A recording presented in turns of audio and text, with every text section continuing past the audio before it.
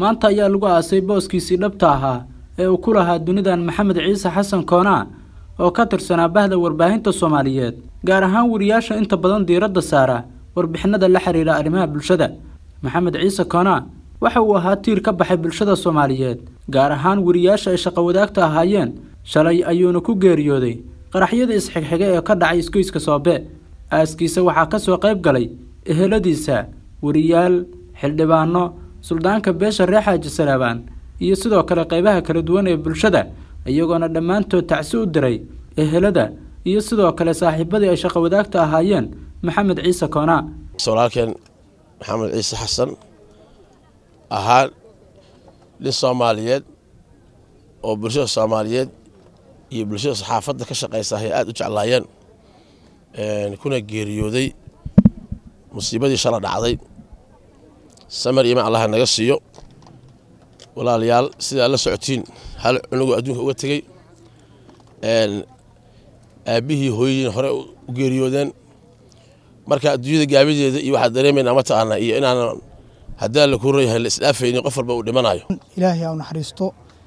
Maxamed ciise koona aniga marka laga tago bahda saxaafadda waxaan ahayn saaxiibo iyo niman xaafad ku soo wada koray oo wakhti dheer isyaqaanay runtii muddo ka badan shan iyo labaatan sana ayaan isnaqaanay isku xaafadaan ku soo kornay isku mar ayaan shaqada wada bilaabnay warbaahinta.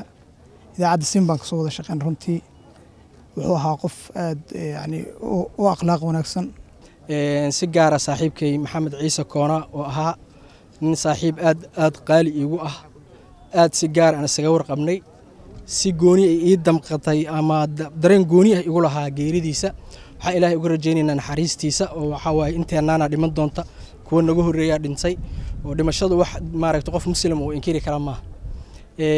Ehelkii qaraabadii uu ka tagay si gaara waxaan leeyahay ilaahay sabri iimaan iyo bedel khayr qaba ha siiyo.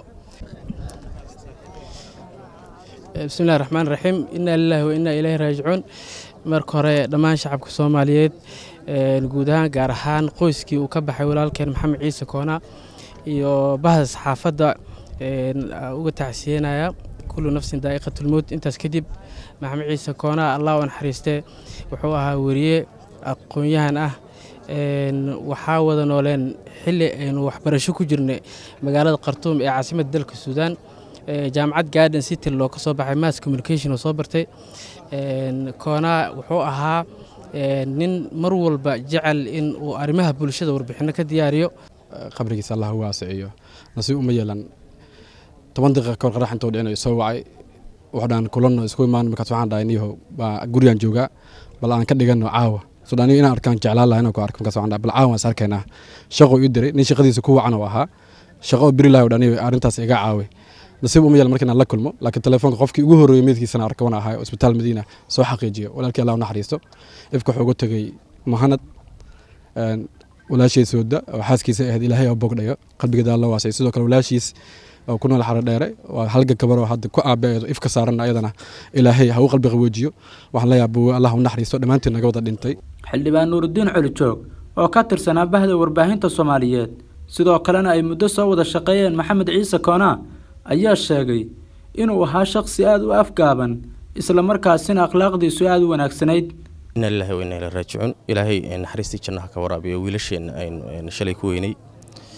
Masiibadii argagixisadu ay u geysatay ummadda soomaaliyeed iyo dadkii kale ee faraha badnaa ee ku dhintayba dad qaaliya oo dhallinyaro ah baa inaga dhintay. Si gaara aniga geeriday taabanaysaa waxaa weeye ninkaan walaalahayn walaalkii saaxiibkay maxamed ciise koona.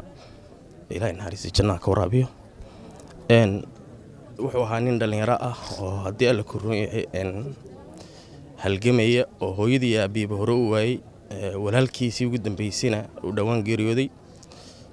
Ilaahay naxariistii jannaha ka waraabiyo walaalkeen. Innagana haynooga daba naxariisto. Wuu ka waraabinayaa gacanka xaqdana baa dishay.